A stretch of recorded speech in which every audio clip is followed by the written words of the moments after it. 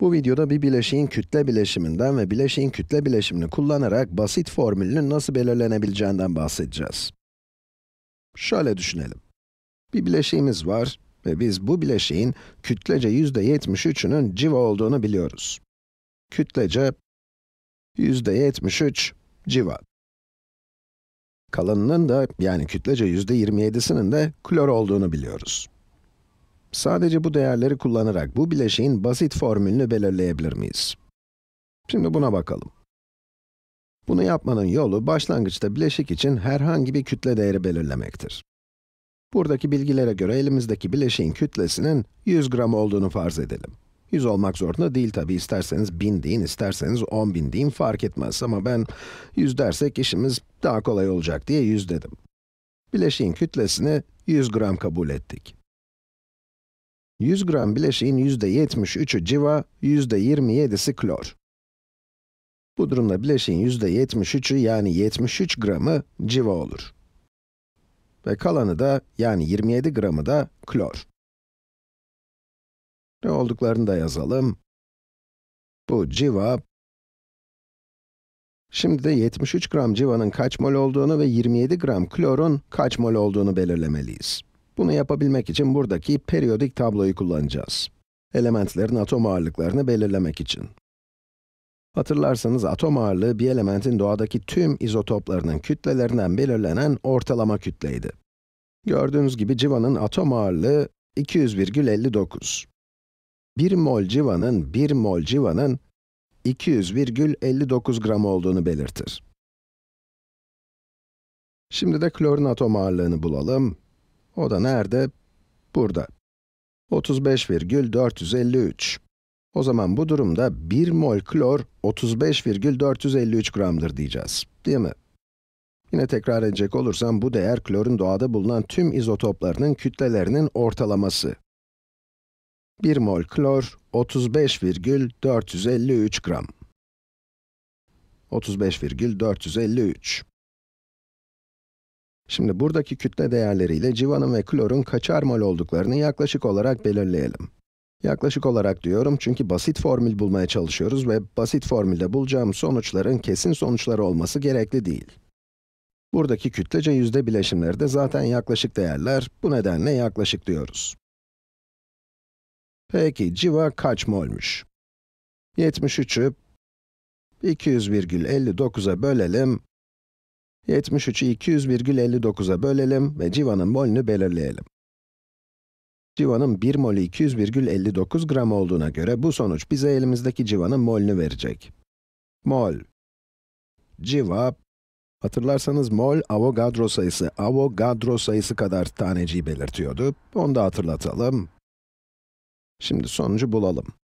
73 bölü 200,59. Sonuç 0 virgül, evet oldukça uzun 0 virgül 36. Biz bu değeri yaklaşık olarak 0,364 olarak alalım. Yaklaşık olarak 0,364 mol. Bu, elimizdeki civanın mol sayısı. Şimdi aynı şeyi klor için yapalım. 27 bölü 35,453. Buradan da klorun molünü bulacağız. Hesap makinamıza 27 bölü 35,453 yazalım. Bu da neymiş? Yaklaşık olarak 0,762 mol klor.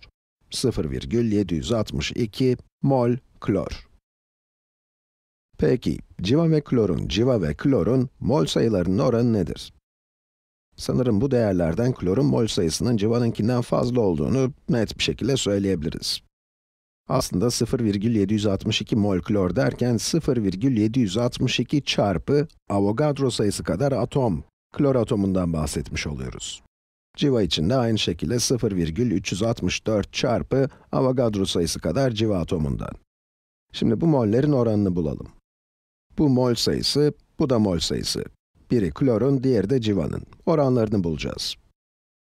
Klorun molünün civanınkine oranı, şöyle bir baktığımızda oranın yaklaşık olarak 2 olacağını söyleyebilirsiniz ama biz yine de hesaplayalım. Buradaki değeri 0,2 3639'a bölelim. Sonucu yine yaklaşık olarak belirleyeceğim. Sonucumuz 2'ye çok yakın bir değer. Aslında böyle işlemler yaparken en basit yanıt en iyi yanıttır. Burada ölçme hatalarının olma ihtimali oldukça yüksek. Bu nedenle sonucu yaklaşık olarak belirlememiz yeterli. Özellikle kütle bileşiminden basit formül belirlerken elimizdeki değerler çok kesin değerler olmayacağı için bunu yapabiliriz.